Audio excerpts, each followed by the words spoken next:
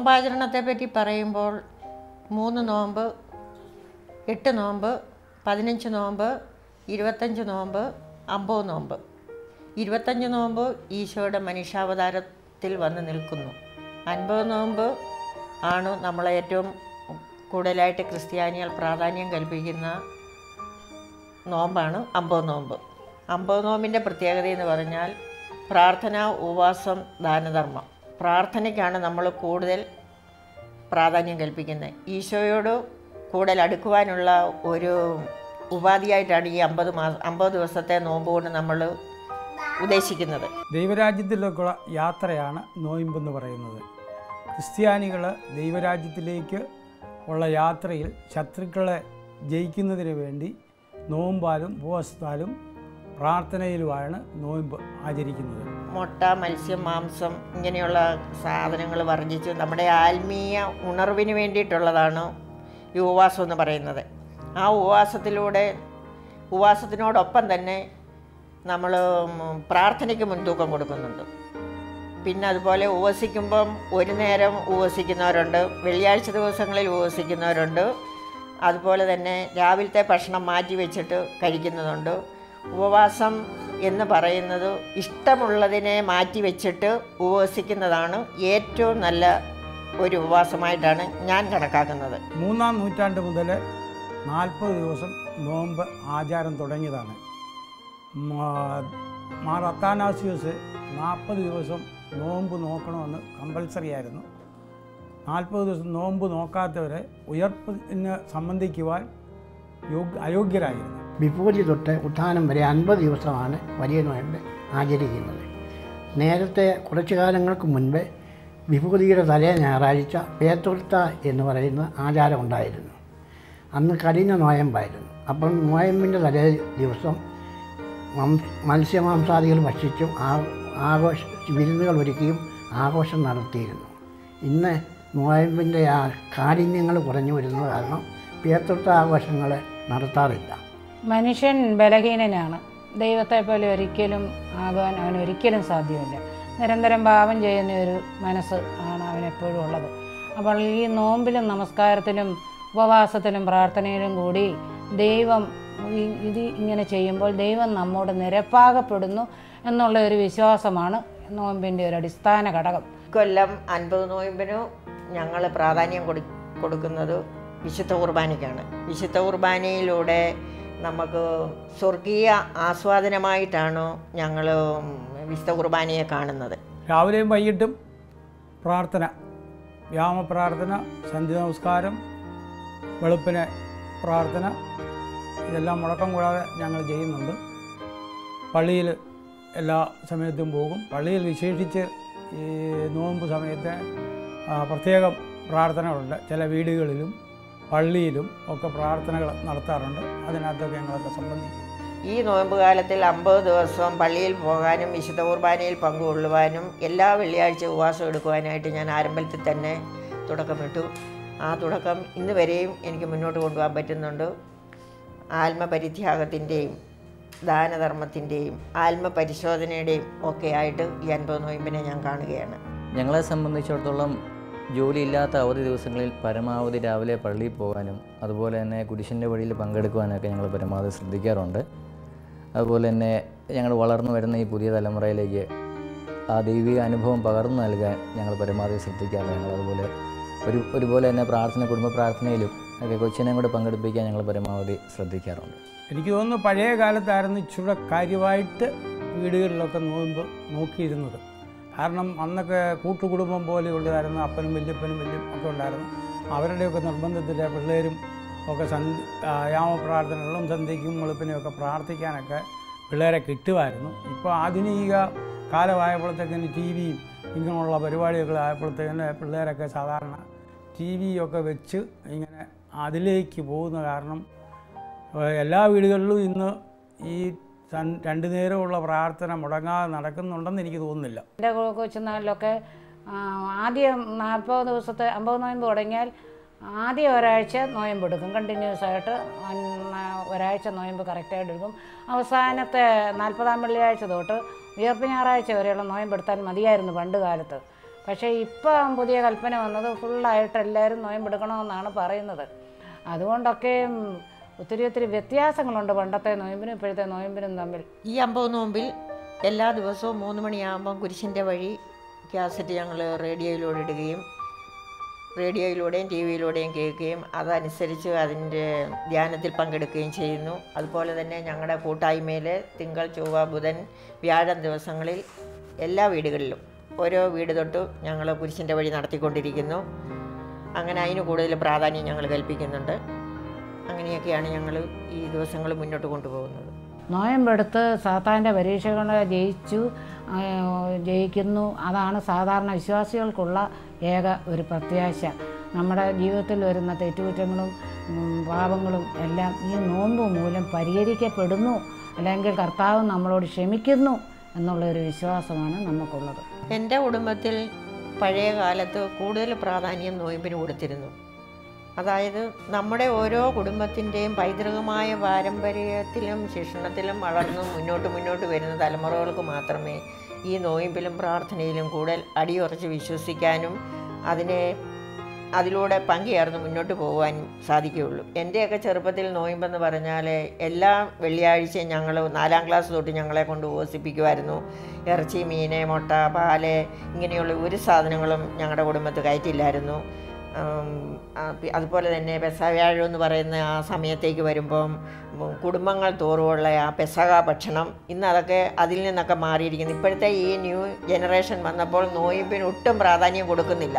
അവരുടെ ജീവിത സാഹചര്യങ്ങളായിരിക്കാം അവരെടുക്കുന്ന ഉത്തരവാ ഭാരപ്പെട്ട ജോലികളായിരിക്കാം അങ്ങനെ അവർക്ക് അതിനോട് താല്പര്യമില്ല. പിന്നെ മാതാപിതാക്കന്മാർ നിർബന്ധിക്കുന്നത് കൊണ്ട് മാത്രം ചില കുടുംബങ്ങളിൽ കുഞ്ഞുങ്ങൾ നോക്കുന്നു എന്ന് മാത്രമേ ഉള്ളൂ. സ്നേഹം കൂടാതെ ഒരുത്തൻ നോമ്പ് നോക്കുന്നു എങ്കിൽ അവന്റെ വൃഗത്തിന് യാതൊരു വിശേഷമൊന്നുമില്ല പ്രാർത്ഥന സ്നേഹിക്കപ്പെട്ടതാകുന്നു സ്നേഹം അതിനെ കരയറ്റുന്നില്ല എങ്കിൽ അതിന്റെ ചിറക് ബലഹീനമായുള്ളതാണെന്നൊക്കെയും പ്രഭാത സമയത്തെ പ്രാർത്ഥനയിൽ ഈ പ്രാർത്ഥനകളൊക്കെ വായിക്കും പ്രാർത്ഥിക്കുമ്പോൾ ഏതോ ഒരു മനുഷ്യന്റെയും ഉള്ളൊന്ന് കത്തും. അപ്പോൾ ആ ഒരു കത്തൽ ദൈവ ദൈവം പ്രസാദിക്കും നിശ്ചയമായി.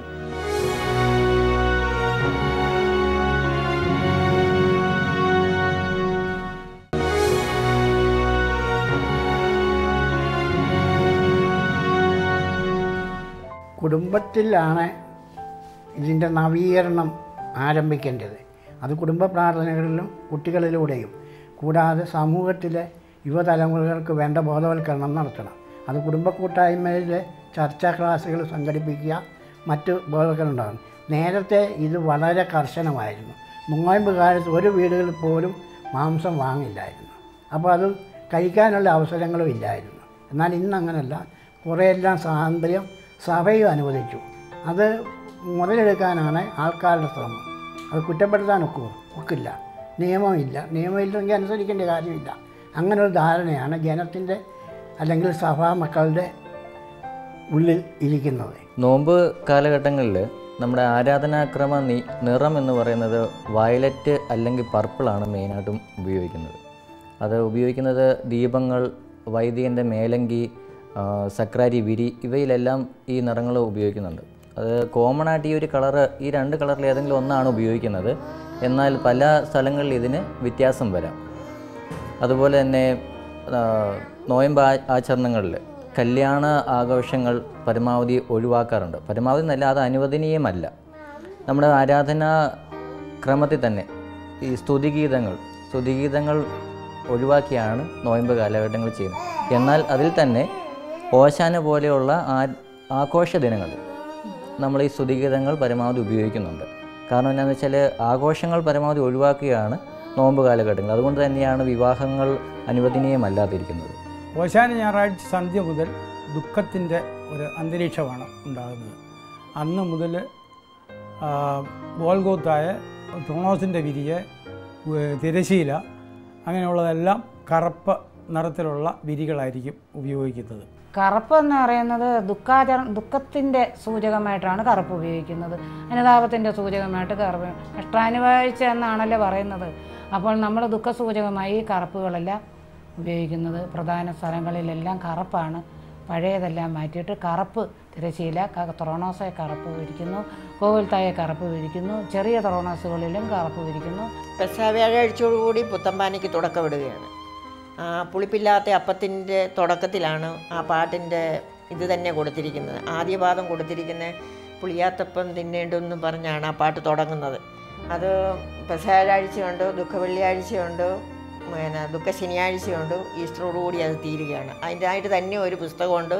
ഇപ്പം കാസറ്റുകളും ഇറങ്ങിയിട്ടുണ്ട് നമുക്ക് വീട്ടിലിട്ട് കേൾക്കാൻ വേണ്ടിയിട്ട്. ട്യൂണിന് ഒരല്പം മാറ്റങ്ങൾ വന്നിട്ടുണ്ടെന്നേ ഉള്ളൂ. ഓശാന മുതൽ ദുഃഖ ദുഃഖവെള്ളിയാഴ്ച വൈകുന്നേരം വരെ നമ്മൾ ക്രൂശിത രൂപം വയലറ്റ് കളർ കൊണ്ട് ആവരണം ചെയ്തിരിക്കുക. വയലറ്റ് കളറുള്ള ഒരു തുണി കൊണ്ട് ആവരണം ചെയ്തിട്ടുണ്ട്. ആ എല്ലാ രൂപങ്ങളും അങ്ങനെ തന്നെയാണ് ആവരണം ചെയ്തിരിക്കുന്നത്. ഓശാന ഞായറാഴ്ച എന്ന് പറയുന്നത് വാസ്തവത്തിൽ അതൊരു കഷ്ടാനുഭവത്തിന്റെ ഒരു ഭാഗമായിട്ട് വരുന്നില്ല. സത്യത്തിൽ അതൊരു സന്തോഷത്തിന്റെയും കൂടെ ദിവസമാണ്. ഓശാന ഞായറാഴ്ച പിന്നെ കർത്താവ് ജെറുസലേമിലേക്ക് കർത്താവിന് ഒരു വലിയ വരവേൽപ്പ് ഇസ്രായേൽക്കാർ നൽകുന്നുണ്ട്. ഓശന്ന കർത്താവിന്റെ നാമത്തിൽ വരുന്നവൻ വാഴ്ത്തപ്പെട്ടവനെന്ന് ആർത്ത് വിളിച്ചുകൊണ്ട് എല്ലാവരും കർത്താവിനെ ഒരു വലിയ വരവേൽപ്പ് നൽകുന്ന ദിവസമാണ് ഓശാന. എളിമയുടെയും വിനയത്തിന്റെയും മാതൃക നമുക്ക് നൽകിക്കൊണ്ടാണ് ഈശോ ശിഷ്യന്മാരുടെ പാദങ്ങൾ കഴുകുന്നത്. അന്നേ ദിവസം വൈകിട്ട് നമ്മുടെ വീടുകളിലെ ഇണ്ടറിയപ്പം അഥവാ പെസക ഭക്ഷണം നമ്മൾ ഒരുക്കുന്നു. തലേ ഞായറാഴ്ചത്തെ ഓശാനയ്ക്ക് കിട്ടിയ ഓല മുറിച്ച് കുരിശാകൃതിയിലെ അപ്പം പിന്നെ ഉഴുന്നും അരിപ്പൊടിയും കൂടെ ചേർത്ത് മാവിന്റെ മുകളിൽ കുരിശാകൃതിയിൽ ഓല വെച്ച് ആ അപ്പം പുഴുങ്ങി പാലും പഴവും കാച്ചി പിന്നെ നമ്മൾ പെസക ഭക്ഷിക്കുന്നു. പെസക വ്യാഴാഴ്ച എന്ന് പറയുന്നത് കർത്താവ് ഈ പഴയതിനെ നീക്കി പുതിയത് സ്ഥാപിക്കുന്ന ഒരു ഓർമ്മ കൂടിയാണ് പെസക വ്യാഴാഴ്ച. അതായത് പഴയ നിയമത്തിന്റെ ന്യായപ്രമാണത്തിന്റെ ചില ചില കാര്യങ്ങളൊക്കെ നീക്കിക്കളഞ്ഞ് പുതിയ ഒരു കുർബാനയുടെ ഒരു ഒരു അവസ്ഥ സൃഷ്ടിക്കുന്ന ഒരു ദിവസം കൂടിയാണ് പെസക വ്യാഴാഴ്ച. ഈശോയുടെ പീഡാസഹനവും കുരിശുമരണവും നമ്മൾ ഒത്തിരിയേറെ വിശ്വാസത്തോടും അതിലേറെ പ്രാർത്ഥനയോടും കൂടി ആചരിക്കുന്നതാണ് ദുഃഖവെള്ളി. ദുഃഖവെള്ളിയാഴ്ച എന്ന് പറയുന്നത് കർത്താവിന്റെ കഷ്ടാനുഭവം വീടാനുഭവം അന്ന് എല്ലാവരും വളരെ ദുഃഖമായിട്ട് വളരെയധികം ദുഃഖത്തോടെ ആ കാര്യങ്ങളൊക്കെ സംബന്ധിക്കുകയും അതിന്റേതായ ചില ആചാരങ്ങളും പാട്ടുകളും പ്രാർത്ഥനകളും അത് ദുഃഖ വെള്ളിയാഴ്ച രാവിലെ ഒരു എട്ട് മണി തൊട്ട് വൈകുന്നേരം ഒരു അഞ്ച് മണി വരെ കർത്താവിന്റെ കവറടക്കത്തോടെ അത് പര്യവസാനിക്കും. ആ ദിവസത്തിൽ കർത്താവ് കഷ്ടം അനുഭവിച്ചതിനും കർത്താവ് കയ്പ് കുടിച്ചതിനെ അനുസ്മരിപ്പിച്ചുകൊണ്ട് വിശ്വാസികളെല്ലാവരും അന്ന് ചുർക്ക പാനം ചെയ്യുകയും അത് കഴിഞ്ഞ് പിന്നെ കവറടക്ക സ്വറൂഷയെല്ലാം കഴിഞ്ഞ് നമ്മുടെ ഏറ്റവും എളിമയുടെ രീതിയിലുള്ള ആ കഞ്ഞി കുടിച്ച് പള്ളിയിൽ നിന്ന് വിടുകയും ചെയ്യുന്നു. അന്ന് ഉച്ചയ്ക്ക് പള്ളി പള്ളി പള്ളിയിൽ തന്നെ നമുക്ക് കഞ്ഞിയൊക്കെ ക്രമീകരിച്ചിട്ടുണ്ട്. ആ കഞ്ഞിയൊക്കെ കുടിച്ച ശേഷം മാത്രമേ നമുക്ക് പിന്നെ പിന്നത്തെ പീഡാനുഭവ ചരിത്രം പുസ്തകം ഒത്തിരിയുണ്ട് ചരിത്രം വായിക്കാൻ. വായനയാണ് അന്ന് കൂടുതലും പീഡ പിന്നെ ദുഃഖവെള്ളിയാഴ്ചത്തെ പള്ളിയിൽ നടക്കുന്ന കർമ്മങ്ങളെ അതിലൊക്കെ പങ്കുകൊള്ളുന്നു. കുർബാനയ്ക്ക് പള്ളിയിലെ ആ ചടങ്ങുകൾക്ക് ശേഷം കയ്പുനീര് കുടിച്ച് നമ്മൾ രൂപം മുത്തി വീട്ടിലേക്ക് പോരുകയാണ്. ഈശോയുടെ ദിവ്യദേഹം കല്ലറയിൽ ശയിക്കുന്നതിനോടുള്ള അനുസ്മരണമായിട്ടാണ് വലിയ ശനിയെ നമ്മൾ കാണുന്നത്. ദുഃഖ ശനിയാഴ്ച എന്ന് പറയുന്ന ദിവസം കർത്താവ് ഉയർത്തെ കർത്താവ് പാതാളത്തിൽ പോയി മരിച്ചവരോട് സുവിശേഷം അറിയിക്കുന്ന ഒരു ഓർമ്മ ദിവസം കൂടിയാണ് ദുഃഖ ശനിയാഴ്ച. അന്ന് ചില ദേവാലയങ്ങളിൽ പുത്തൻ വെള്ളവും പുത്തൻ തീയും വിശ്വാസികൾക്ക് നൽകാറുണ്ട്. അത് കൊണ്ടുവന്ന് വീട്ടിലത് കത്തി തീ കത്തിക്കുന്നു വെള്ളം ഉപയോഗിക്കുന്നു. വെള്ളം ഉം, വീട്ടിലാർക്കും എന്തെങ്കിലും അസുഖങ്ങളോ എന്തെങ്കിലുമൊക്കെ വരുമ്പം ആ വെള്ളം നമ്മൾ തളിക്കുന്നു. ആടുകൾക്കോ കോഴികൾക്കോ പശുവിനോ ഒക്കെ അസുഖങ്ങൾ വരുമ്പം നമ്മൾ വിശ്വാസപൂർവം ആ കുരുത്തോല കരിച്ച് ഈ വെള്ളത്തിൽ കലക്കി അവിടെ വിശ്വാസത്തോടുകൂടി അത് അതുങ്ങളുടെ മേത്ത് തളിച്ചാൽ നമുക്ക് അതിൽ നിന്നൊരു മോചനം ലഭിക്കുന്നതായിട്ടും അതുപോലെ തന്നെ ആ കുരുത്തോല വെഞ്ചരിച്ച് അച്ഛൻ നമ്മുടെ കയ്യിലേക്ക് തരുമ്പോൾ നമ്മൾ ആ കുരുത്തോല മുത്തിക്കൊണ്ടാണ് നമ്മൾ അതിനെ സ്വീകരിക്കുന്നത്. ആ കുരുത്തോല കൊണ്ടുവന്ന് വിൽക്കുന്ന വയ്ക്കുന്ന വീടുകളിൽ ദുഃഖദുരിത ദുഃഖ ദുരിത രോഗങ്ങളിൽ നിന്ന് വിടുതൽ കിട്ടുമെന്നാണ് ആ ഓലയിലൂടെ നമ്മൾ മനസ്സിലാക്കിയിരിക്കുന്നത്. അതിപ്പോഴും അങ്ങനെ തുടർന്നു കൊണ്ടുപോകുന്നു. എല്ലാ പീഡാസഹനങ്ങളെയും അതിജീവിച്ചുകൊണ്ട് യേശു മൂന്നാം ദിനം ഉയർത്തെഴുന്നേൽക്കുന്നു. അതാണ് നമ്മൾ ഈസ്റ്ററായിട്ട് ദേവാലയങ്ങളിൽ കൊണ്ടാടുന്നത്. ഈ നോയമ്പെല്ലാം നമ്മൾ എടുത്തതിന്റെ നമ്മൾ കർത്താവിനോട് കഷ്ടം അനുഭവിച്ചതിന്റെ ഒക്കെ ഒരു വലിയ സന്തോഷത്തിന്റെ ദിവസത്തിലേക്കാണ് ഉയർപ്പ് ഞായറാഴ്ച വിരൽ ചൂണ്ടുന്നത്. ആ ഉയർപ്പ് ദിവസത്തിൽ സകല വിശ്വാസികളും ദേവാലയത്തിൽ പോകുകയും ആരാധനയിൽ സംബന്ധിക്കുകയും വിശുദ്ധ കുർബാന അനുഭവിക്കുകയും ചെയ്യുന്നതോടുകൂടി നോമ്പാചരണം തീർന്നു എന്ന് വിശ്വസിക്കുന്നു. ക്രൈസ്തവരായ നമ്മുടെ വിശ്വാസത്തിന്റെ ആ ഒരു അടിയുറപ്പ് എന്ന് പറയുന്നത് ഈശോയുടെ പുനരുദ്ധാനത്തിലാണ് വന്നിരിക്കുന്നത്. അപ്പം നമുക്ക് ക്രൈസ്തവരായ നമുക്ക് ഏറ്റവും ഇമ്പോർട്ടന്റ് ആയിട്ടുള്ള ഒരു കാര്യം ഈ ഉയർപ്പ് തിരുനാളാണ്. അപ്പോൾ അതും പരമാവധി ആഘോഷപൂർവമായിട്ടാണ് നമ്മൾ കൊണ്ടാടാറുള്ളത്. നോയമ്പിന്റെ ഒരു അവസാനമായിട്ടും എല്ലാം ഒരു ആഘോഷം ആഘോഷപൂർവമായിട്ട് നമ്മൾ ഈസ്റ്റർ കൊണ്ടാടാറുണ്ട്. ഈ നോമ്പിലൂടെ നമുക്ക് മുന്നോട്ട് ചിന്തിക്കുവാനും മുന്നോട്ട് ജീവിക്കുവാനും മറ്റുള്ളവരെ ഇടപഴകാനും എങ്ങനെ സാധിക്കുമെന്ന് നമുക്കൊന്ന് വിലയിരുത്താം. അതായത് ഈ നോമ്പിന്റെ ആധ്യാത്മിക ചൈതന്യം ഈ അൻപത് ദിവസത്തെ നോമ്പിലൂടെ നമുക്കൊരു മനോ മനപരിവർത്തനം വരുത്തുകയും ആത്മീയ ഉണർവ് തരികയും അതുപോലെ അൻപത് ദിവസം കഴിഞ്ഞാലും ഈ ഉണർവോടെയും ഈ ഉത്സാഹത്തോടെയും മുന്നോട്ട് ജീവിക്കുവാനും നമുക്ക് സാധിക്കണം. മറ്റുള്ളവർക്ക് ഉപകാരം ചെയ്തില്ലെങ്കിലും ഉപദ്രവം ചെയ്യാതെ ജീവിക്കാൻ നമ്മൾ ഈ നോയമ്പ് കാലം നമ്മൾ പരിശീലനം നേടണം. അത് ഈ നോയമ്പ് കാലത്ത് മാത്രമല്ല നമ്മുടെ ജീവിതത്തിന്റെ ഉടനീളം ആ സൽഗുണ പ്രവർത്തികൾ ചെയ്തുകൊണ്ട് ജീവിപ്പാൻ ദൈവം നമുക്കെല്ലാവർക്കും ശക്തിയും ബലവും നൽകട്ടെ. അങ്ങനെ തന്നെ മുൻപോട്ട് പോകാൻ ആശിക്കുന്നു പ്രത്യാശിക്കുന്നു. യേശുവിന്റെ പീഡാസഹനവും കുരിശുമരണവും യേശു കടന്നുപോയ ആ പതിനാല് സ്ഥലങ്ങളും ഗാനാത്മകമായിട്ടാണ് ഇന്ന് ദേവാലയങ്ങളിൽ ആചരിക്കുന്നത്. ഈ പതിനാല് സ്ഥലങ്ങളിൽ ഏറ്റവും ഹൃദയസ്പർശിയായി തോന്നിയിരിക്കുന്നത് ഈശോയുടെ ഒന്നാം സ്ഥലമാണ്. ആ ഒന്നാം സ്ഥലത്ത് ആ ഗാനം നമ്മൾ ശ്രദ്ധിക്കുമ്പോൾ അറിയാം. ഈശോ എന്തുമാത്രം നമ്മളെ സ്നേഹിക്കുന്നുവെന്ന്. കാരണം അവിടുന്ന് എത്രയേറെ പീഡ സഹനങ്ങൾ സഹിച്ചുകൊണ്ടാണ് ആ വേദനകൾ ഏറ്റുവാങ്ങിയത്. ഇതെല്ലാം പാപികളായ നമ്മുടെ പാപവിമോചനത്തിന് വേണ്ടിയിട്ടാണ്. ആ ഒന്നാം സ്ഥലത്തെ ആ ഗാനമാകട്ടെ ഇന്നത്തെ ഈ ദിവസം പാടുന്നത്. കുരിശിൽ കുരിശാലെ വിജയം വരിച്ചവനെ. Me.